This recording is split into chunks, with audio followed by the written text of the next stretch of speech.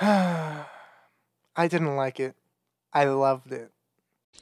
Oh, brother, this guy stinks! Yeah, we got the clickbait out of the way, but what could I say that hasn't already been said? Plot is pretty good. I love the moral questions it has for its characters and the audience. It's great to see yet another piece of media depicting things as just gray instead of black and white, while still pointing out flaws in the characters. So, yeah, that's cool. Not sure what to say about the characters since this film is only half, so there's no really complete arcs, but I'll speed run through it, I guess. Miles has a solid motive and a conflict throughout the film. Gwen has a nice little arc with her father, and the film taking time to focus more on her this time around did wonders for her character. Miguel is a great antagonist, as stated earlier with the plot. The film does a great job making his motives understandable while still showing he is taking it to an extreme especially towards the end. Every other character in the film I can just sum up as them being fun additions because nobody really does anything. Which again, it's not a flaw, this is the first half of one long ass film. So I don't know how to like properly judge it with